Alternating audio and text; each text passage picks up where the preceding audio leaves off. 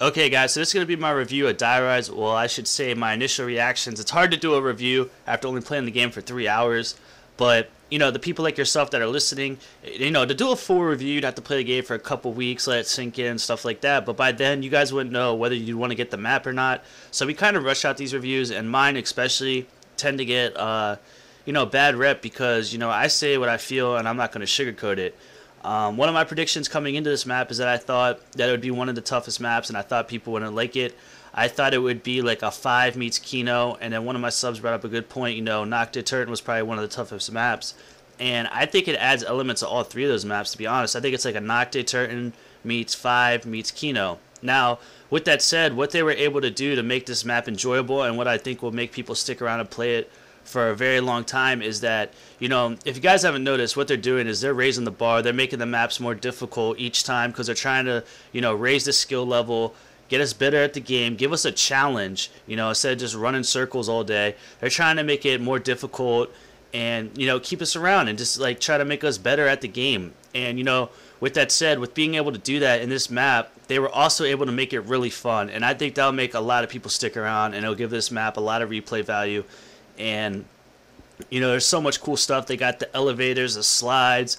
Um, it's basically like two towers and then on one half of the tower um, it's like upside down and you know oh, my only gripe about it is my only gripe about the map and everything would be on the upside down part of the map i don't know if I'm just being a pansy or if it's just from lack of sleep for staying up for six hours to wait for this.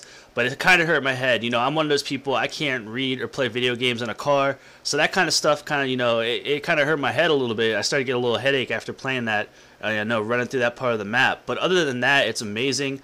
Um, it is tough, though, like I said. I don't think in three hours of playing, I haven't got jug and I have not seen or hit the box once. Now, the jug part, that's my fault because I'm running around I'm trying to find stuff to do videos for you guys and all that stuff. The jug thing is totally my fault. But now the box, I haven't seen the box once. I haven't hit it once. I don't even think my teammates have hit it once. Maybe a couple times, if that. Um, you think like because I'm running around, I'm trying to find stuff for videos. You think I would stumble upon the box, be like, oh hey, there's the box. I I know what that looks like. I haven't seen it once. This map is tough. Like I said, um, the perks coming through the elevator shafts. You have to catch it at the right time. Um, you know, guns on the wall. There are some good guns on the wall, but they're in really tough locations. You're not going to be able to run circles really and grab ammo, especially if you're playing with a, a high number of people. And you know, it's a really really tough map, but it, like I said, it's also very fun, and I think it's going to keep you guys around playing. So I would recommend getting it. Um, it's one of the best maps, and uh, it's new, it's refreshing, it's challenging, and it's a lot of fun. So I know a lot of you guys are waiting to get home to play it. I don't think you guys will be disappointed. I think I'm gonna probably live stream it now. I mean, I've done about all the videos I'm gonna do. You know, there's some there's some more videos I could throw out there, but you know, I'm just gonna start live streaming and start. I'm gonna go for a high round. The highest right now is like a 23. Like that's how hard the map is. So I think I'm gonna live stream it. Uh, at, it's gonna be at twitch.tv slash everythingpiffofficial. Um, I'll put that link in the description.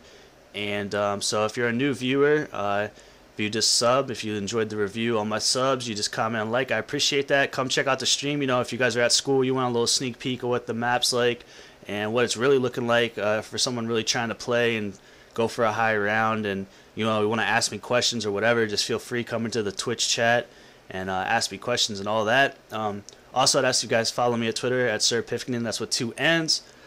And yeah, man, I'll just be picking people. I'll be playing all day and uh, just picking people up from the chat or wherever. So if you want to come out and play, just uh, hit me up there, and uh, I'll talk to you guys later. Peace.